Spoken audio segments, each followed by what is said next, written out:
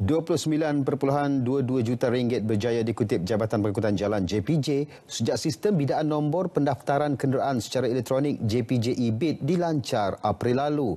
Pelaksananya berjaya meningkatkan jumlah hasil sebanyak 200% berbanding sistem bidaan manual sebelum ini. Justru menjelang hujung tahun ini, JPJ menyasarkan JPJ e-bid dapat dilaksanakan sepenuhnya di seluruh negara. Melaka ini salah satu Next adalah Selangor, Perlis dan Negeri Sembilan. Itu sahaja yang belum. Hmm. Yang lain semua dah kita dah jelajah lah.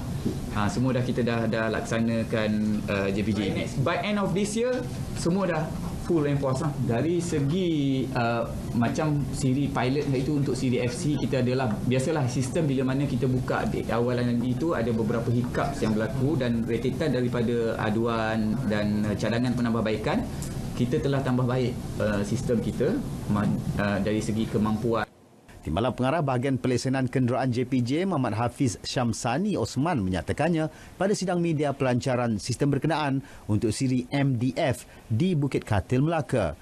22 siri JPJ e-bit telah dijalankan di 10 negeri dengan sasaran kutipan 1 juta ringgit bagi setiap siri.